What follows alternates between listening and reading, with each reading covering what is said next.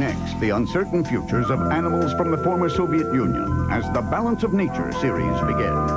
Then giant planes take to the skies on wings. Tomorrow, animals survive in frozen worlds on the living planet. Coming up.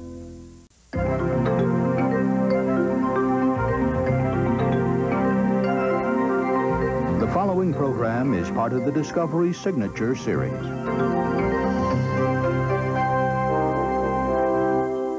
Presenting an average day in the life of an average American family. They learned how to surf, walk, and talk all at the same time. I've ridden the fastest and the biggest waves ever ridden, and not many dads can say that.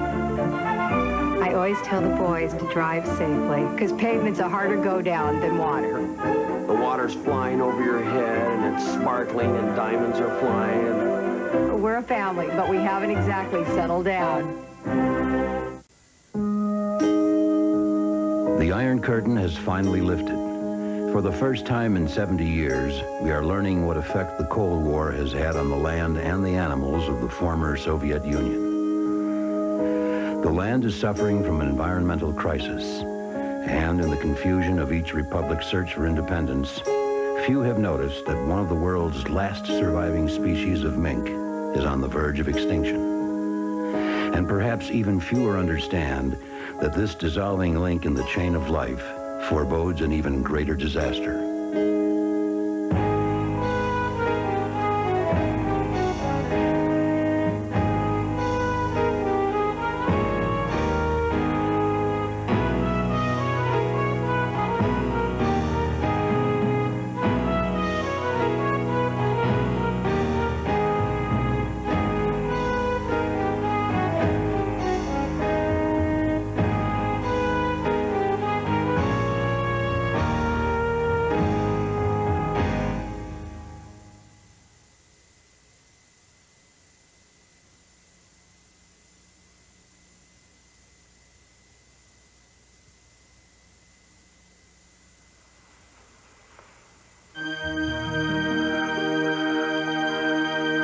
Not long ago, this forest on the southern shore of the Baltic Sea was part of the Soviet Union. Now it belongs to the Republic of Estonia, one of the breakaway republics that also includes Latvia and Lithuania. As the republics struggle to define their independence, life in the forest goes on. But the stillness of the forest is deceiving. Beneath the veneer of calm, the struggle for survival continues.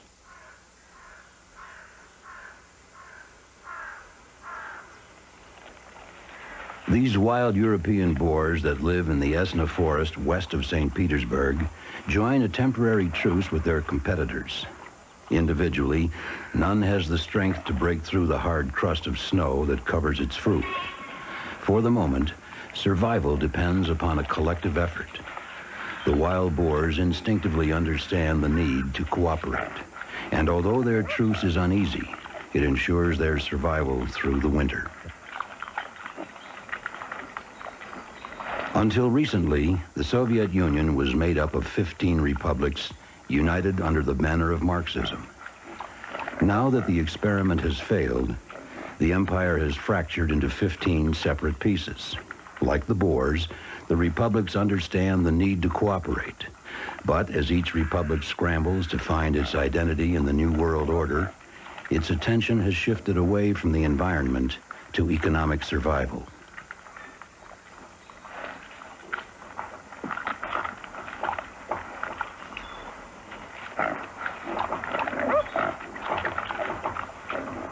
European mink now stands on the edge of extinction because of a half century of politics that put industrial development and the exploitation of natural resources above care for the environment.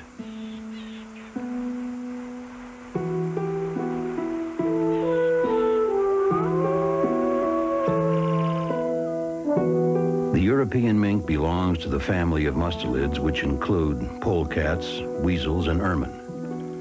There are only two species of mink, the native European mink and its cousin, the American mink, highly prized and bred for its superior fur. The American mink is native to the United States and Canada. By the late 1800s, trappers had hunted the American mink into near extinction. In order to protect the future of their industry, hunters bred captive mink, which became the start of the fur farming industry. After World War II, Russian scientists came up with a plan to improve the quality of their own free-range fur. They released 20,000 American mink in the wilds of the Soviet Union and hoped the American mink would coexist with the European mink. But the experiment turned into a disaster. The blue area on this map of the former Soviet Union shows the range of the native European mink as it was 20 years ago.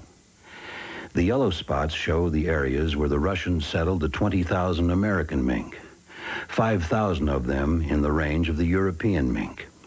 The American mink adapted to their new habitat so quickly that they soon started to overrun the territory of the European mink. Suddenly, for reasons no one could explain, the European mink began to disappear.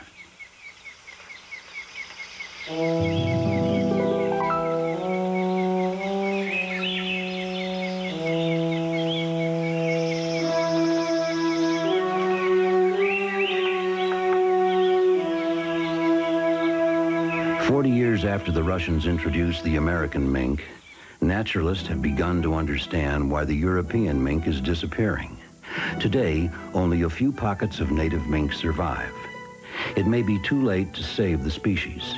It's not too late, however, to learn the lessons nature is so desperately trying to teach us.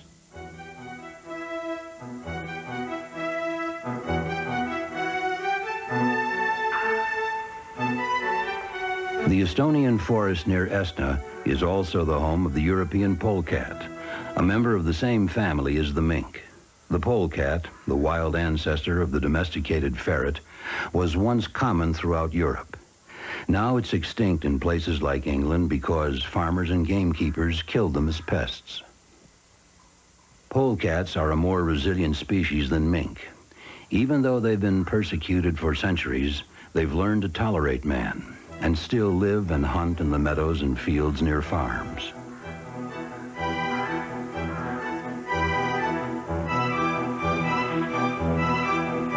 Before the introduction of the common house cat in the 9th century, farmers relied on polecats to rid their farms of rodents.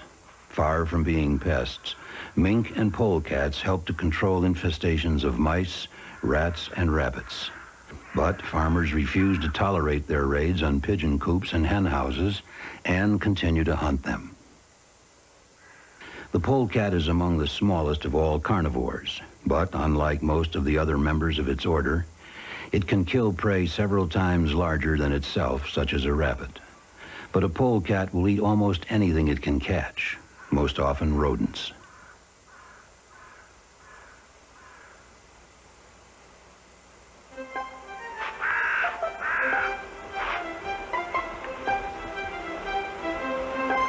Polecats live alone. Each animal stakes out a territory that can range anywhere from 250 to 6,000 acres, depending upon the availability of food. Only during the mating season will a male abandon the territory it's defended so carefully all year. In a day, it may walk as far as 10 kilometers in search of a mate. This male has entered a female's territory. He approaches her burrow carefully, uncertain how she'll receive him. A female is in heat from three to five days only, and if he miscalculates his invitation, she'll drive him away.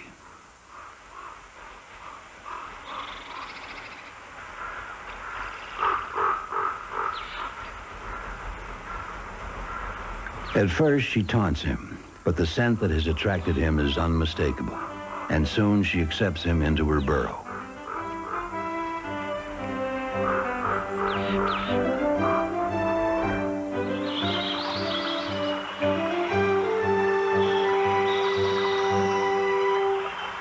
Six weeks later, the female gives birth to seven blind and deaf kits.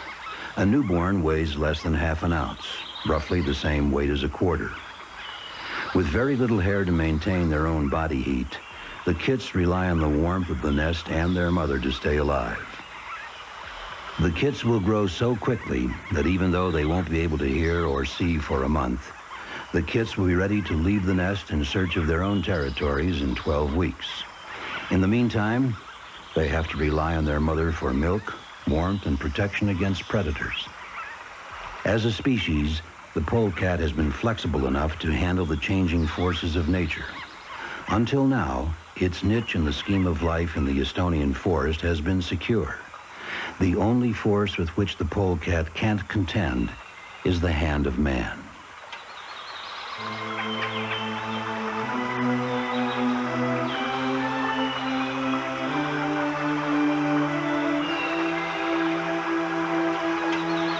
The polecat can't continue to withstand man's constant intolerance and superstition. These animals aren't the sneaky marauders of the night we've imagined them to be. Like the mink, polecats play an important part in the ecological balance of life in Estonia and Russia. In the past, the fate of the polecat depended upon the presence of prey. Now, its fate depends more upon the presence of man. An ecosystem is made up of infinite detail. It's difficult, if not impossible, to predict what will affect this complex web of relationships. The tapestry of animal and plant life is interwoven with a million threads, and if one thread should unravel, then it can threaten the entire tapestry. So far, the polecat has found ways to adapt to man. Fortunately for the polecat, its pelt isn't a badge of wealth or rank. Unfortunately, the mink hasn't fared as well. The hand of man has already taken a deadly toll.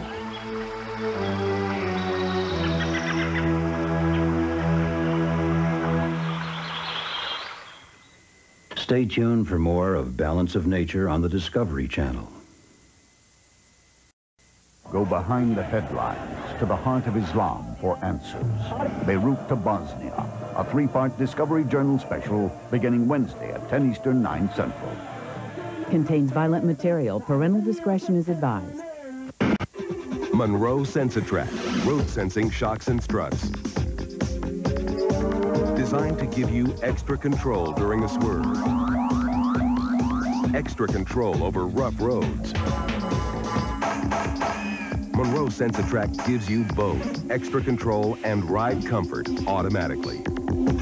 Monroe Sensa-Trac, like two shocks in one.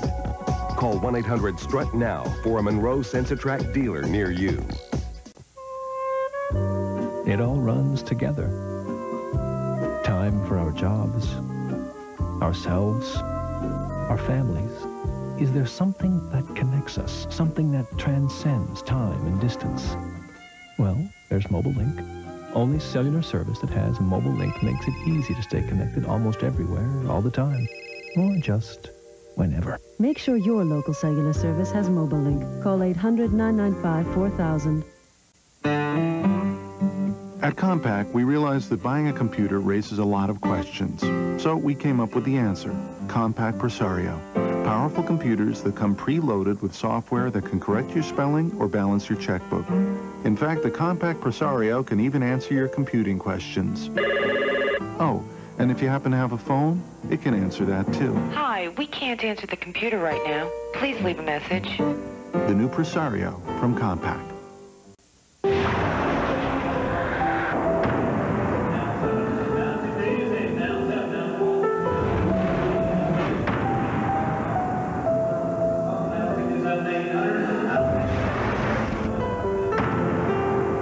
Surprised what a BMW convertible is going for these days. The new 318i.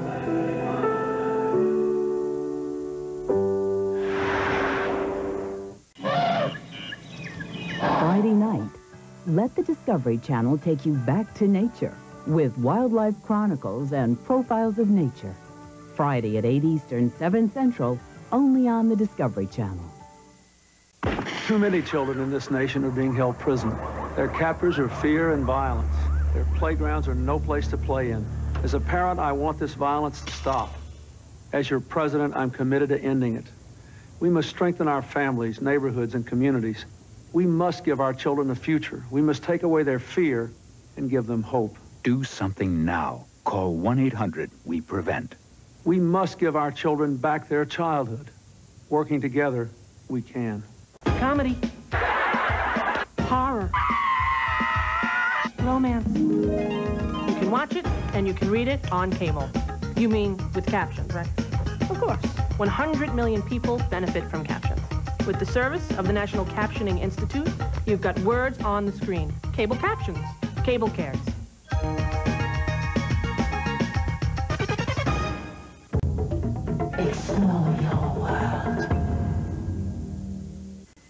Last stand of the European mink now continues on Balance of Nature. The popularity of mink as a fur soared in the 20th century. By 1960, mink accounted for three quarters of the world's fur trade. The industry was consuming 25 million mink a year to supply a largely American public that wanted mink coats as a symbol of wealth and status. The Soviet Union recognized the economical value of American mink and imported them to start their own fur farms. By 1970, a quarter of the world's supply of mink came from the USSR. Russian zoologists released thousands of American mink in the wilds of Siberia so they would interbreed with the native mink and create a superior free-range pelt. By introducing an alien species into the ecosystem, Russian scientists played a wild card that permanently changed the balance of nature. What the zoologists didn't know was that American minks become sexually active a month before European males. By the time European minks start their search for mates, American males have already fertilized the females of both species. That should have been good news, but what happened was a catastrophe. The two species of mink turned out to be genetically incompatible. The fetuses couldn't develop past a certain stage and died inside their mothers. Some European males still manage to find females that haven't been impregnated by American males. This mink has found the den of a female beneath the root tangle of a fallen tree. She taunts him, refusing to let him enter. He challenges her, but she rebuffs him and he storms off, planning a new strategy. He marks her territory to warn off other potential suitors as if performing his protocols will guarantee him success. Then he returns to her den for another try. This time he tries a different approach. He coos and dances for her. The female watches him passively, but eventually, when the time is right, she'll accept him as her mate.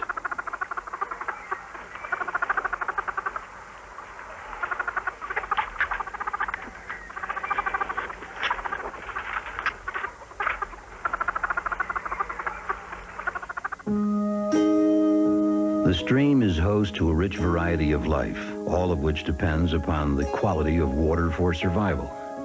If anything affects the water, then in turn, it affects everything in the food chain. The European mink spends its life on or near water. It feeds on everything from frogs and fish to larger prey such as the water vole. Its den will rarely be more than a few meters away from a stream or river. But the clear running water that is so essential to the survival of the local ecology in this forest preserve is already tinged with pollutants from factories and industries upstream. And clear cutting of forests, even though miles away, has affected the water level. Increased runoff has raised some streams, flooding the dens of the mink and their prey, while other, smaller streams have dried up completely. As the streams die, so do the animals that depend upon them. As the water quality worsens, the mink abandon their territories in search of clean water. But it's becoming too difficult for them to find proper living conditions. Oftentimes, an animal will be flexible enough to seek alternative food sources when it can't find its normal prey. But the European mink resists change. It accepts only the conditions nature, not man, has created. As clean water becomes harder to find, so it becomes harder to find the European mink. For those who can hear the alarm, the disappearing mink warns man of the invisible but nonetheless deadly changes taking place in the environment. But few can hear this cry over the clamor of people newly freed from the yoke of communism. Estonia, like each of the other republics that once made up the Soviet Empire, has had to cope with the difficult and often painful process of converting from 50 years of socialism to a free market economy. This total reorganization of thinking and leadership has pushed many urgent ecological issues out of the mainstream of concern. Meanwhile, the mink struggle for survival continues.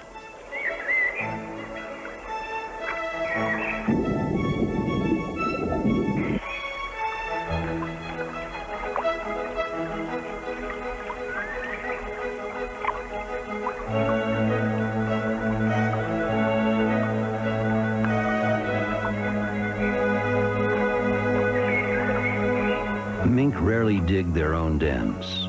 Instead, they prefer to appropriate the dens of other animals in root tangles, in riverbanks, or in any safe place convenient to water. This pregnant female has chosen to make her nest in the hollow of a tree, barely a meter away from a stream that is still teeming with life. Such streams are becoming increasingly hard to find. Over the past 40 years, Estonia has drained over half its wetlands for the sake of developing industry and agriculture. Hydroelectric projects have permanently altered major watersheds. They have not only changed the face of the land at the development sites, but throughout the complex network of rivers and streams that are the home of the mink. Oblivious to the threat that confronts her species, this mother-to-be lines her nest with moss, dry grass, and leaves collected from the forest floor. She will give birth to anywhere from four to seven kits that will stay with her about eight months, when they'll be old enough to strike out on their own. Until then, they will live in this crowded nest under the watchful eye of their mother, who must teach them everything she knows about survival. For centuries, these skills have been enough to ensure the survival of her species. But sadly, what she knows is now no longer enough. She will be giving birth to a shrinking generation, one that will find coping with the problems of survival increasingly difficult. But this moment is one of hope and expectation. In spite of the odds stacking up against her, it is still a moment of victory, the advent of the next generation of European mink. The last stand of the European mink will be back in a moment.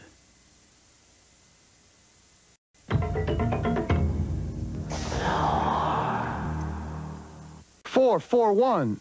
No, no, that's not it. Four, five, one. No, that's that stupid screen pass. I can't remember the number. I better call an audible. call Candace. So, Steve, you got the tickets? Okay, Candace, here's the deal. I got five on the 40 for the 14th, three on the He's 50 so good with numbers. Call now for the revolutionary voice-activated phone card, only from Sprint. This is Horseshoe Bay, Bermuda, and I work here at the Lost and Found. People come here to get away to forget, and they do. People are in such good spirits and good moods, they lose things all the time. Golf clubs and their wallets. Most of these things are lost by people on vacation. Maybe it's the Bermuda Triangle. I mean, this place was discovered by people who were lost. American Express traveler's checks. Don't leave home without them. Some fear the passage of time. Others welcome it because it will reveal their strengths. Now, J.D. Power and Associates reveals that the best overall car line in vehicle dependability at five years of ownership no longer comes from Germany or Japan. The leader is Cadillac, creating a higher standard as time goes by. Does it feel like things are too much to handle? Like your life is just a lot of pain? Call the Boys Town National Hotline. They've helped hundreds of thousands of kids and parents. They know what to do to help you. Call toll free 1-800-448-3000. For decades, we have talked about it over dinner, read about it in the papers, watched it on TV. Why? Now go behind the headlines into the heart of Islam for answers. Award-winning journalist Robert Fisk documents a legacy of lies and betrayal in the Middle East. Beirut to Bosnia, a three-part Discovery Journal special, beginning Wednesday at 10 Eastern, 9 Central. contains violent material. Parental discretion is advised.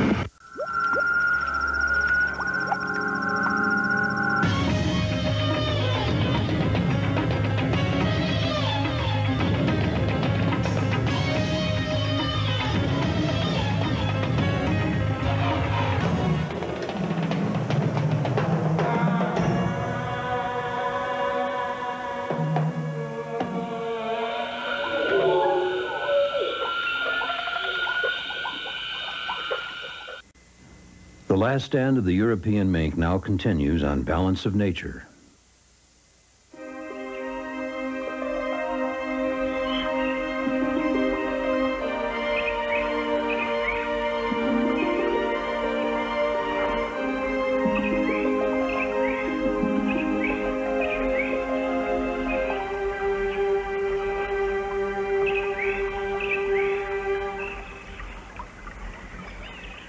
Ten weeks have passed since this female mated with a roving male, and the time has come for her to deliver her kits.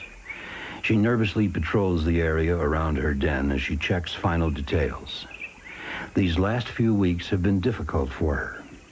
At a time when she needs a steady food supply to nurture her fetuses, her reflexes have slowed down, making hunting much more difficult. She's had to rely on insects, frogs, birds, and even carrion when nothing else was available. But now, all that has come to an end. Satisfied all is well, she returns to her den.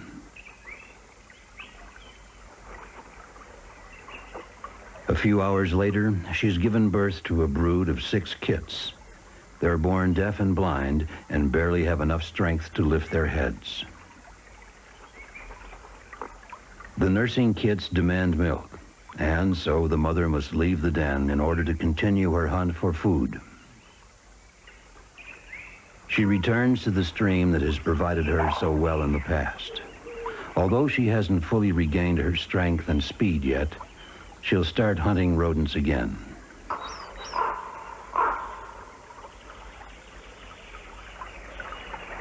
Luck is with her and she quickly finds a muskrat. But prey is becoming harder to find. An adult mink may kill as many as five muskrats or water voles a day. As its prey thins out, the mink pushes out the boundaries of its territory in order to find a stable supply of food. But there's a limit to how much territory she can cover, and the mink faces the harsh law of diminishing returns. For when the energy expended is greater than the energy returned, then no animal can survive. This struggle for life includes both mink and muskrat, and whoever wins the moment may soon follow as the next victim.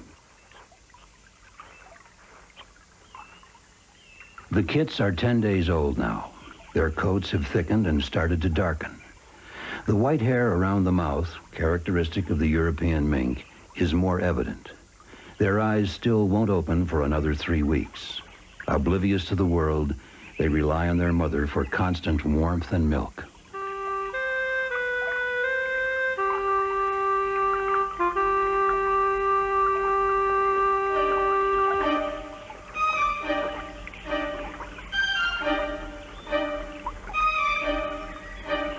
Their mother has fully regained her strength and speed again. She has had to carefully balance the time she spends in the nest tending the needs of her young and out of the nest hunting.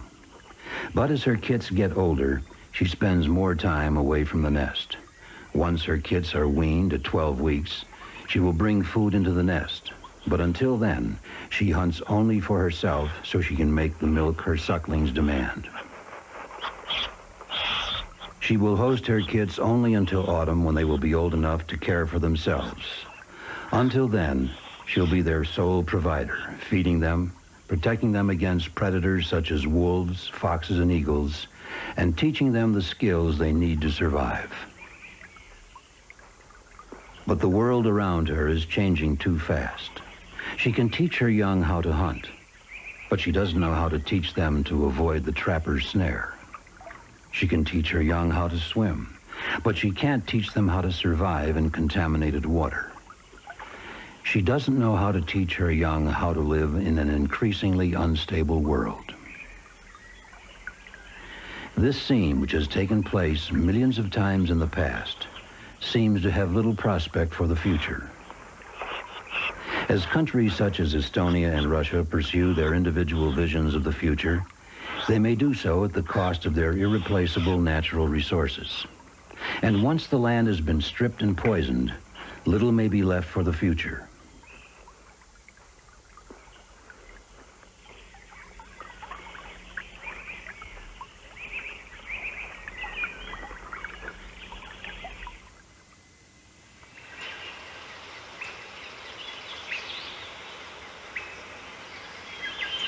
Not far from the nest of mink, the family of polecats has matured.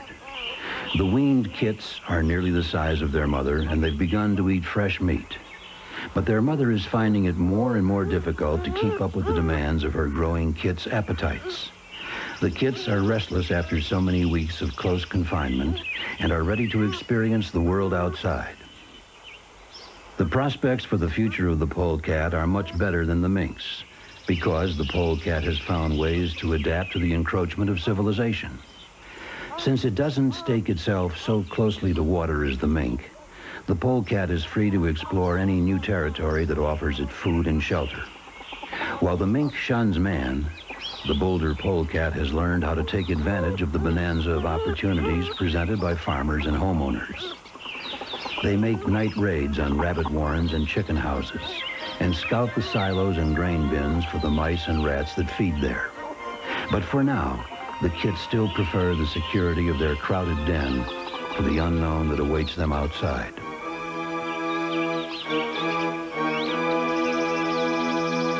Finally, the mother decides to evict her brood. But the task is more difficult than it seems. One by one, she hauls out her reluctant kits.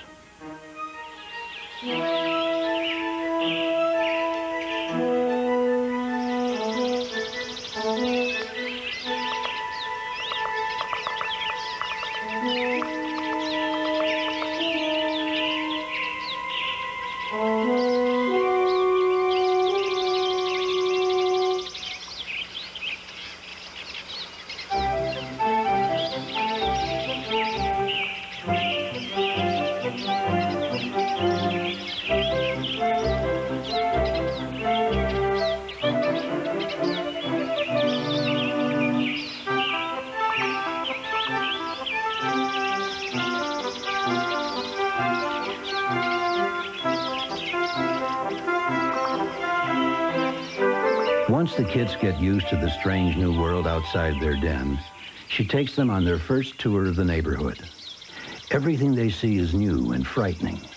Still believing in the security of numbers, the tentative kits huddle together for reassurance. Gradually, they feel braver and begin to venture out independently. Lured by the magic of discovery, they can't resist the temptation to explore everything the world has to offer. Each new experience is a lesson, and as the kits become comfortable with their environment, they will know its pitfalls and dangers. They will understand instinctively how to fit into the scheme of life and what is expected of them. For now, however, they're still a family, and there is time to play under the close supervision of their mother.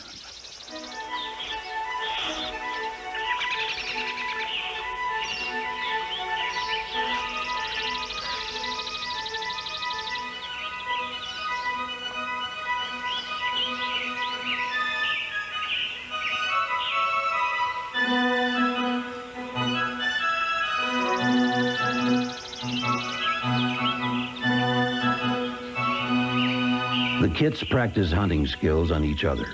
Their play sharpens their instincts and prepares them for the adult world of carnivores. Soon they'll be ready to play in the larger-than-life theater of nature.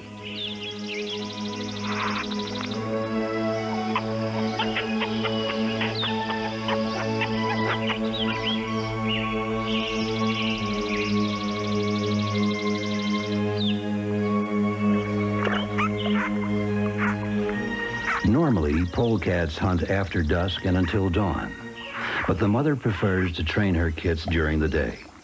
Here, two of the kits accidentally flush a water vole. It is their first encounter with live prey. Instinct takes over, and the kits begin to prove they are both worthy and ready to fend for themselves.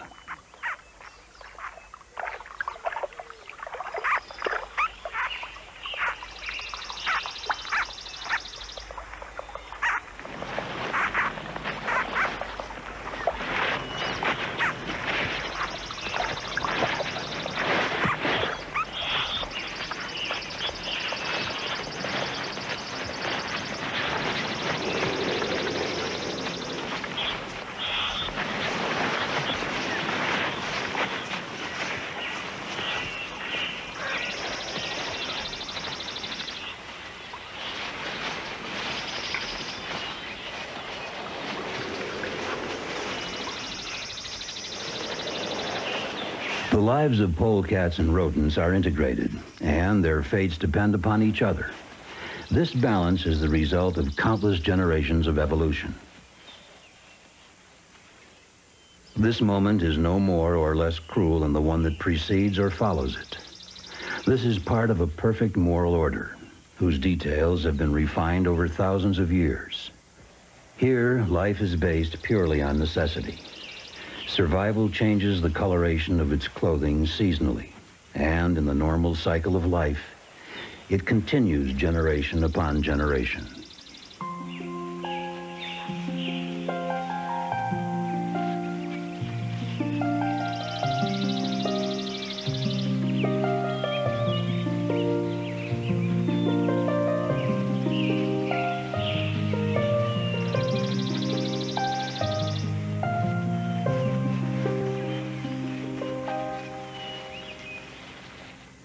Tuned for more of Balance of Nature on the Discovery Channel. Explore your world. You have to look for that idea that excites you. For example, I started thinking, let's make food be fresher, as fresh as it used to be when I was a kid. What we're working on will allow food processors to track the food as it moves along. Such a machine is in our future. DuPont allows its people the freedom to go after hunches. The idea simmers, the idea percolates fresh food. There's nothing artificial about a moment of inspiration. If you were able to take in this beautiful Texas beach from a French hotel, if it were possible to view this Texas monument from a double-decker bus, if somehow you could see these Texas dancers from a Spanish veranda, then you'd know why we say Texas is like a whole other country.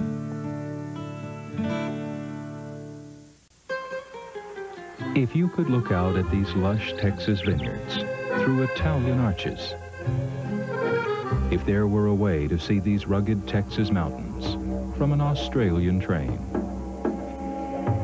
if this Texas forest could be seen from Germany's Autobahn, then you'd know why we say Texas is like a whole other country. It's Very pretty out here. J.C. Penney, saving money is the name of the game. Especially during our Baby Day sale. In no time, you'll be racking up 15 to 30% off on name brand clothing from cradle to kinder. Every parent needs a break, like the J.C. Penney Baby Day sale. After all, raising kids isn't all fun and games. J.C. Penney. The Cadillac Seville SLS, with its 270 horsepower Northstar V8, it passes by everything. And now for a limited time, Seville SLS also lets you pass by monthly payments. For a single upfront payment of $12,405, you're in command for 24 months. And by making all your payments in advance, you save $1,771. The Cadillac Seville SLS with Smart Lease Plus. It's hard to pass up. Cadillac Seville SLS, creating a higher standard. Make your money work harder than ever. Call now for your free Wall Street Journal guide to understanding money and investing. It focuses on financial markets so you can make informed choices. Call now to get your guide free when you subscribe to the Wall Street Journal, where you'll find information you need to get ahead. Get 10 weeks of the Journal for just $36 and the guide to understanding money and investing free with your paid subscription. Call toll-free 800-752-6300. That's 800-752-6300. Friday night, let the Discovery Channel take you back to nature. First, explore the majestic grace and raw natural power of the animal kingdom on Wildlife Chronicles. Then, photographers journey around the world in search of nature's most beautiful and amazing creatures on Profiles of Nature. Wildlife Chronicles and Profiles of Nature, Friday at 8 Eastern, 7 Central, only on the Discovery Channel.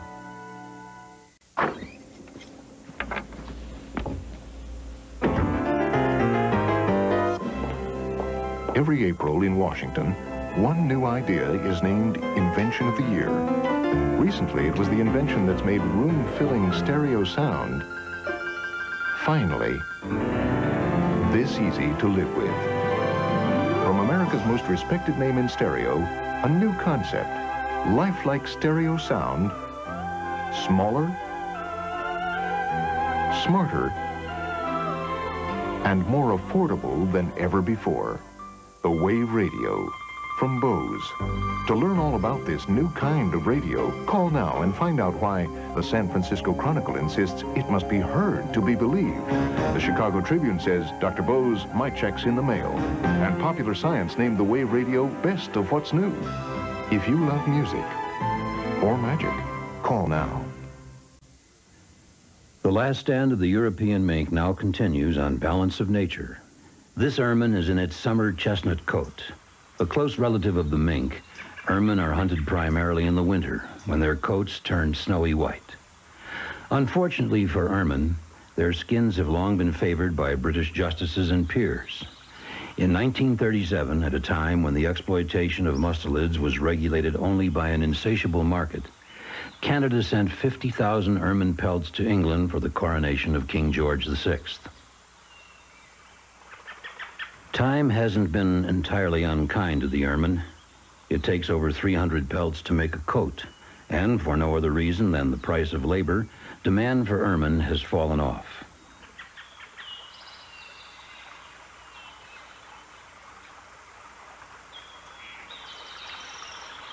In spite of heavy trapping, ermine have adapted more readily to the onslaught of human progress, and although they survive in relatively small numbers, they aren't threatened as a species.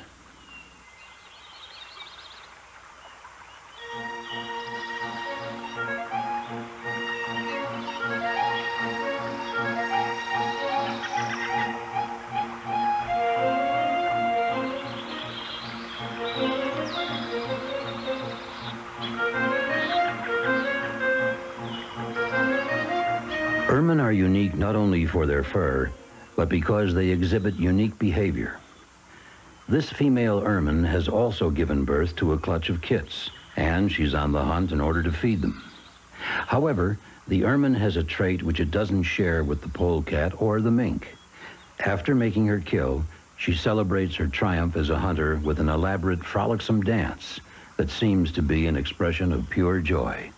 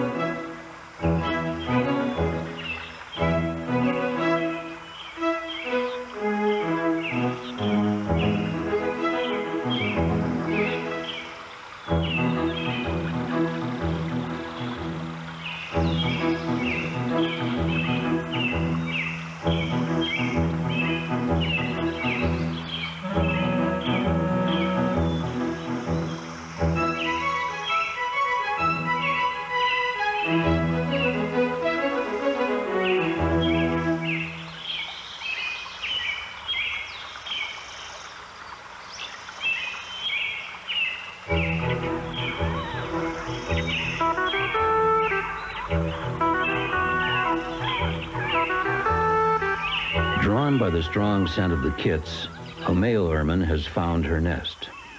This male isn't the father, but the resident male in her territory. In one of nature's oddities, never before filmed, Estonian cinematographer Rein Maran captured this male inseminating 10-day-old blind nestlings.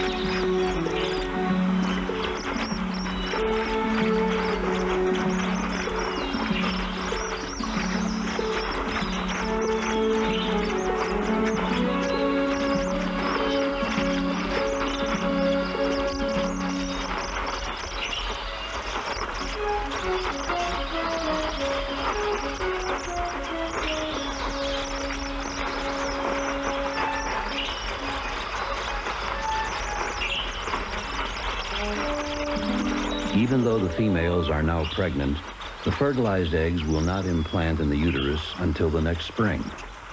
The eggs will actually remain in a state of suspended animation for over 10 months.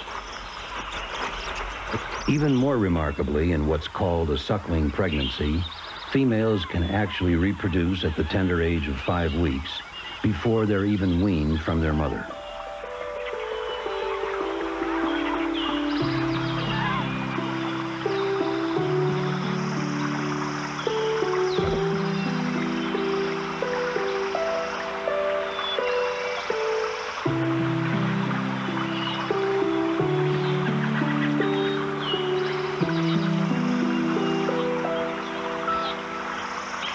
No matter how well intentioned, man has interfered with nature's integrity and left it out of phase.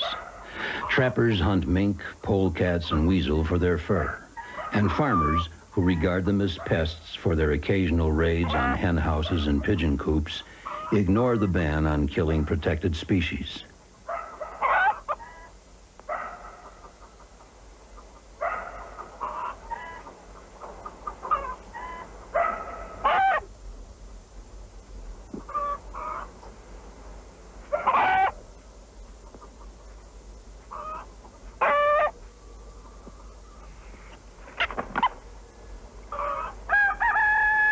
The fact is, rodents cause far more damage to the local and national food stores in the former Soviet Union than any other single cause. Before the introduction of the domestic cat, farmers relied on weasels to control infestations of mice and rats in their grain bins.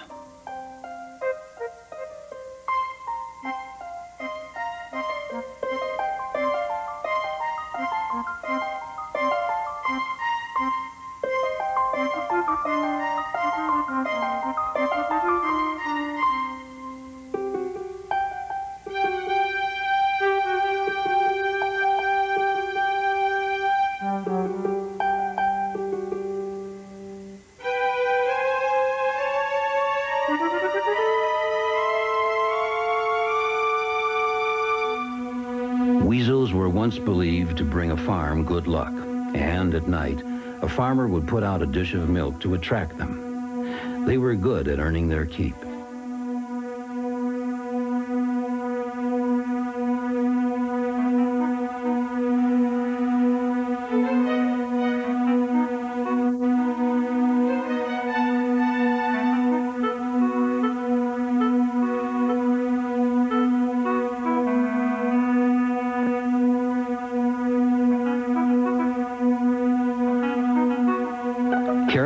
Destruction of their native habitat, unmonitored poaching and trapping, and short-sighted experiments such as the Russian mink release program have had a profound impact on the native species from Siberia in the west to the deserts of Kazakhstan and Kyrgyzia in the south to the Baltic Sea to the north.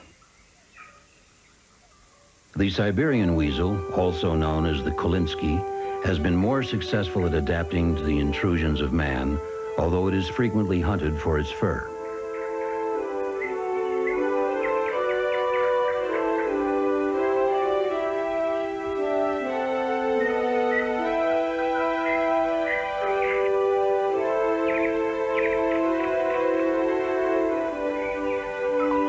The marbled polecat, which lives in the deserts of Central Asia, is among the rarest of animals in the former Soviet Union. So little is known about them that no one knows how many still survive.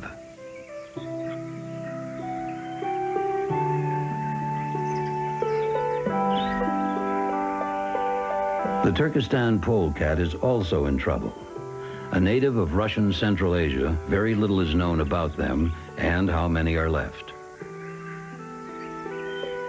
But all these animals, and many more like them, have fallen victim to some degree to man's intolerance, superstition, and greed.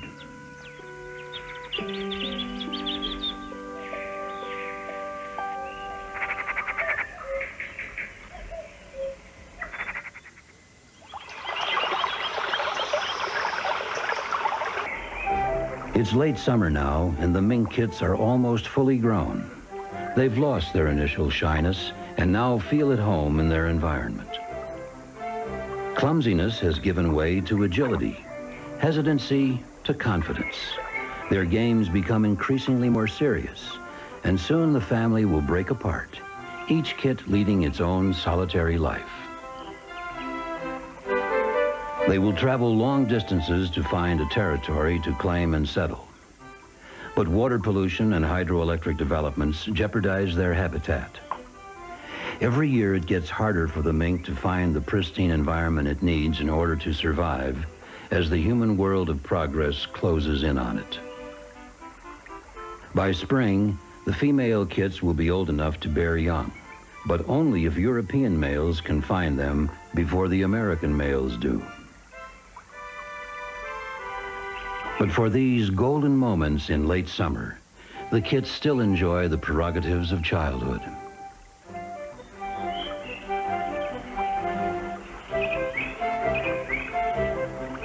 The hand of man is rarely gentle when it touches the fragile ecological balance created by time and nature.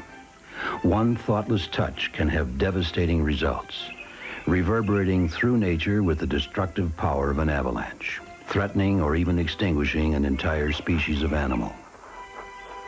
Today, a quarter of the world's mammals are in jeopardy.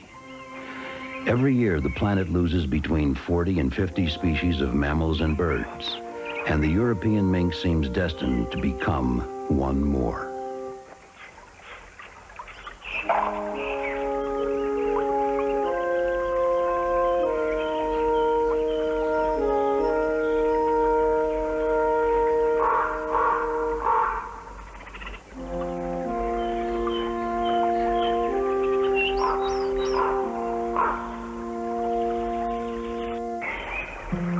If we let nature take its course, the European mink is doomed to extinction.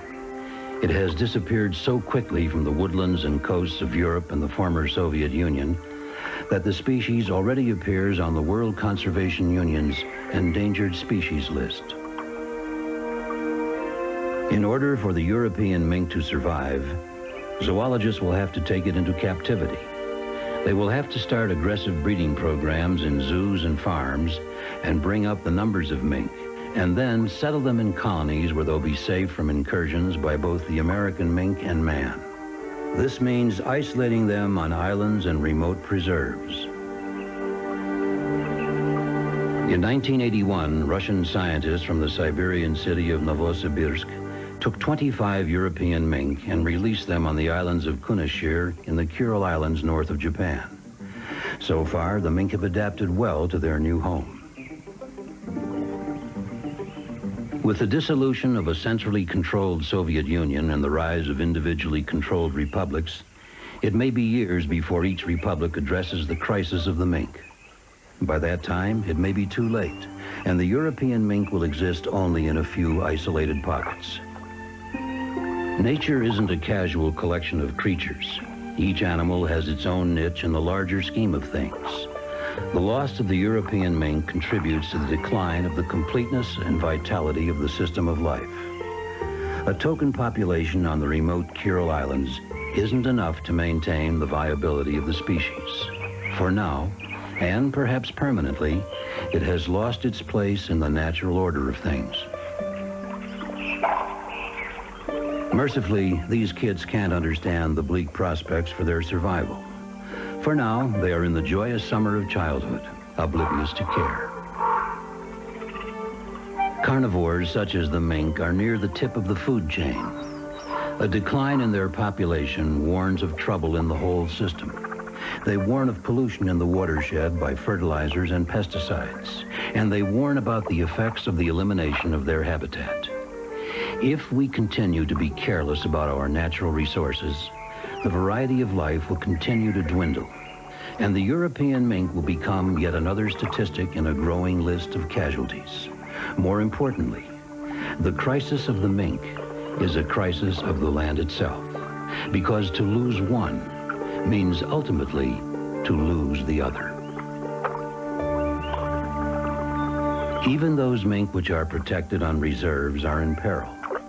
We think of reserves as safe havens, free from the influence of the outside world. But all animals in all places on the planet are affected by what we do. There are no more truly safe havens. As the world's population doubles in the next 40 years, even the remotest reserve will feel its effects. Until we take an active concern for the well-being of animals such as the European mink, then its fate depends upon the whim of civilization. The European mink may be in its twilight. Its passing would diminish nature as it would diminish us as a part of nature. Its lesson can serve only to remind us how fragile our world really is.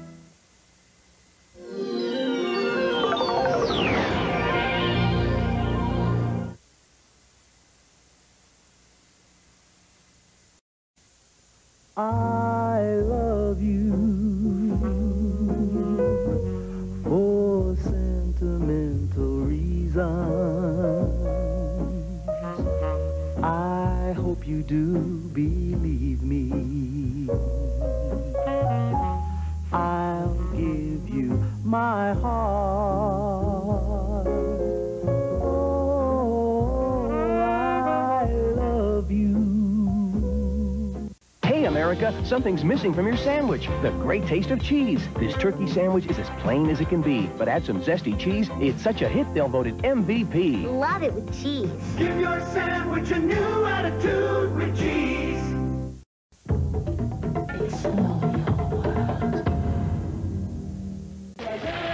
For decades, we have talked about it over dinner, read about it in the papers, watched it on TV. Why? Now go behind the headlines into the heart of Islam for answers. Award-winning journalist Robert Fisk documents a legacy of lies and betrayal in the Middle East. Beirut to Bosnia, a three-part Discovery Journal special, beginning Wednesday at 10 Eastern, 9 Central. Contains violent material. Parental discretion is advised. Friday night, let the Discovery Channel take you back to nature. First, explore the majestic grace and raw natural power of the animal kingdom on Wildlife Chronicles. Then, photographers journey around the world in search of nature's most beautiful and amazing creatures on Profiles of Nature. Wildlife Chronicles and Profiles of Nature, Friday at 8 Eastern, 7 Central, only on the Discovery Channel.